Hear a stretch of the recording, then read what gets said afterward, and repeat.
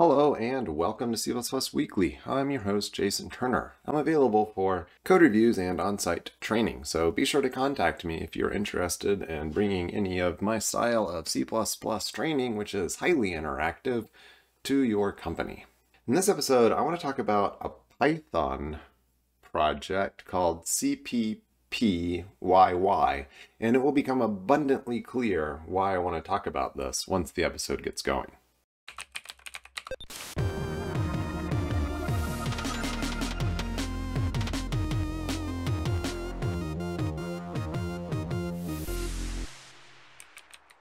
Okay, so I have this command prompt here, and I have been trying to be more considerate about making my fonts bigger for those of you who are watching on smaller devices, although it's not 100% possible all the time.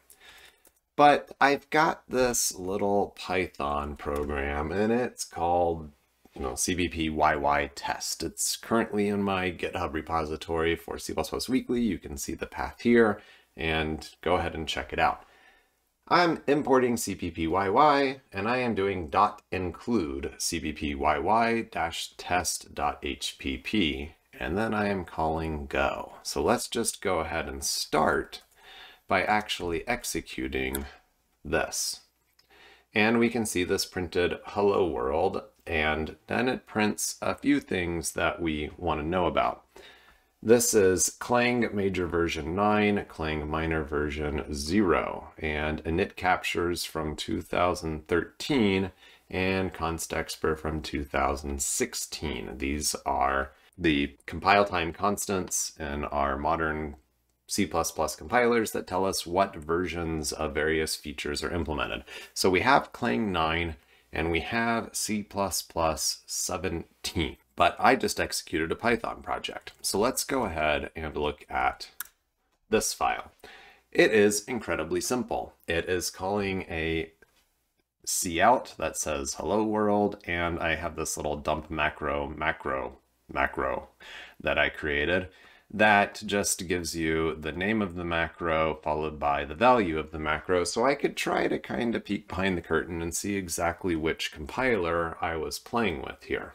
So what just happened in a nutshell is that when we executed the Python code, it included this HPP file, which it then compiled, and then magically made available this go function to Python. It is all very magically magic and works way better than I ever would have expected it to. You have to pay for that compile time cost when the project starts up, but it definitely has some interesting capability. If we can put high performance C++ into our Python code, then there's a lot of opportunity there. So we're going to play around a little bit with some things that I have not yet tested because, well, this part's easy and creating structs is also surprisingly easy. We can create something like this, and then I'm going to give myself an extra window here so we can just relaunch this whenever we want to. Okay, so I'm able to run the script and then play around once I'm in here. So I can actually see with a tab completion all of the things that have been imported. So we've got this my data struct that I just created and I can access the members of it. Pretty straightforward. Okay, let's go slightly more complicated and see what happens if we do a template.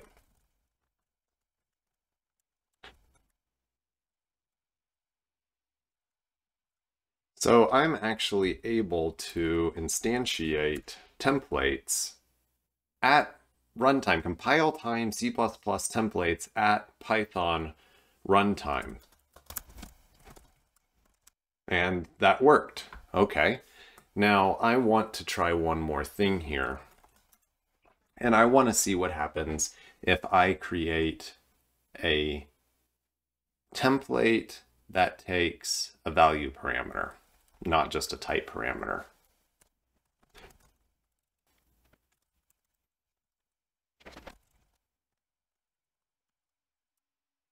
Okay, that's an object of type my data float comma 10. So let's go ahead and see if we can access the data here. Has no attribute data. Oh, array is a type, not an, there we go. So it says it's a low level object, but if I uh, properly create an instance of it, a float of 10 of these things, then that works. Now let's just see what happens if we go off the end of the index. We probably don't want to do that, but we have to find out. Index out of bounds. Wow, uh, that is just about amazing, isn't it? That's really cool. I don't really have a whole lot else to say about this. I don't know of any other programming environment that allows you to instantiate C++ compile time templates at runtime and then use them with the performance of a compile time C++ type. And we will definitely play with this more in a future episode, but thanks for watching this episode of C++ Weekly. Maybe this inspires you to play around with some C++ Python integration, but do keep in mind that as we saw in all of these Python, uh, with all of these things that we are dealing with Clang 9 C++ 17. So you might be a little limited in what you want to do, but the possibilities are limitless here.